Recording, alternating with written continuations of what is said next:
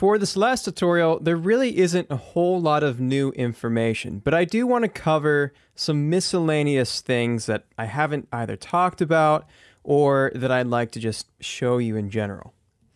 So, first of all, I figured out what was happening with that use physics and why it was freaking out.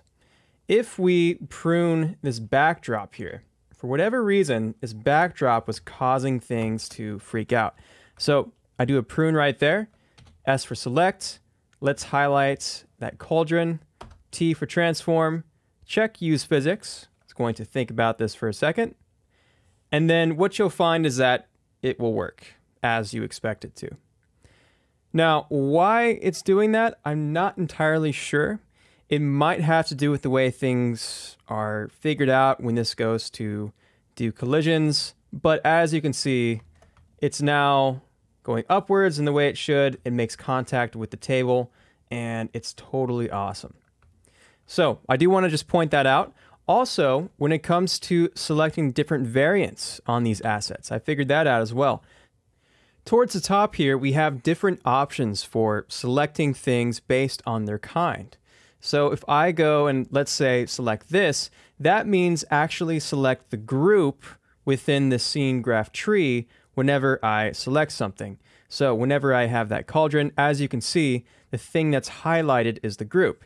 If I was to do something over here, like let's say the components, which I believe is that guy, when I go to select this cauldron, what you'll find is that we are now selecting the components, specifically this. So that's pretty cool. When you have this component selected and you right click, now we have the ability to change out whatever variant that is, and it creates a set variant automatically for us. That was pointed out by Avengia. I think I said that right. Hopefully I did in the YouTube comments. So thank you very much for finding that out and letting me know about it. And then also, what else do we have up here? We can select geometry. If you want to just select lights, you have all kinds of cool selection options up here, like I just mentioned. Uh, what else? Okay, well, I don't think I told you guys this yet, but it's a good thing to know about. With the sublayers, and I'm just going to, I'm going to uh, just jump around different topics here. With the sublayer, let's say I load in something for effects. So let's just go to library, effects, and let's say we bring in the RBD sim. So as we go through the frames, this is the effects layer, effects department layer, which has that. Well, what's cool is that in this scene graph layers panel, right here, where all of our layers are, we can mute any layers that are being loaded in from disk. So if I want to mute well, not that one, but let's just say the effects layer. I can do that. And as you can see, it's now been muted. So that's very convenient if, you know, let's say you have lights as its own sublayer from the layout department or something like that. You can quickly mute it in here. Depending on how your pipeline is set up, this might be a pretty extensive list or this might be pretty short. But just so you know, it's there and you can use that.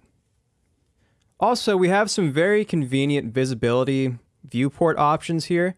Sometimes whenever you select a bunch of things, everything kind of goes yellow in this view finder. If you don't want that to be the case, you can go like that and that will clear that up. Same deal if you don't want to see your camera or your lights.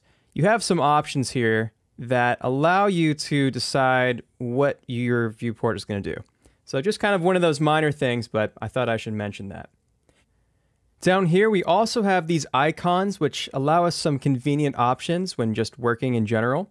So let's say that there's some sort of tree expansion here that you go to quite a bit. So let's say that for whatever reason, I just, I work on these baskets a lot. I don't know why, but let's pretend that I'm in this tree view quite a bit. Well, I can go here and I could say save tree expansion and I can call this the baskets underscore expand.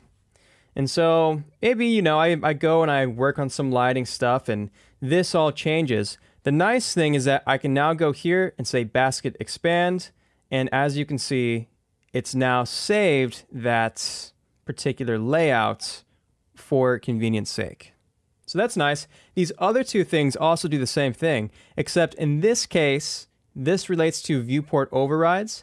So let's say that for the lights, I don't want any lights showing up from layout. So maybe I'll just go like that.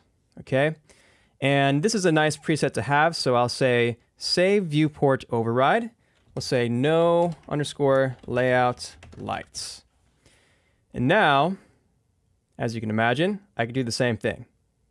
And it saves specifically the way in which I toggle things in this save, in this scene graph tree right here.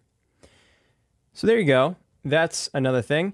Lastly, this relates to masks. And so what the heck is that? This relates to exactly what I was just talking about before with the ability to mute sublayers. So let's say that I don't want the cauldron effects, smoke, you know, stuff going on. I can now say save viewport load masks and call it whatever I want. So I'll say no cauldron effects, please. And then I could do whatever I want. Now I can just load that preset and there we go. Also, there's a few other options in here. If you want to mute a bunch of layers at the same time, you can select, you know, a bunch of stuff, do that. I mean, it's kind of the same thing as going over here. So just another way to get there. And then you can also reset all your masks right there. It's kind of nice. And this load all payloads is kind of interesting.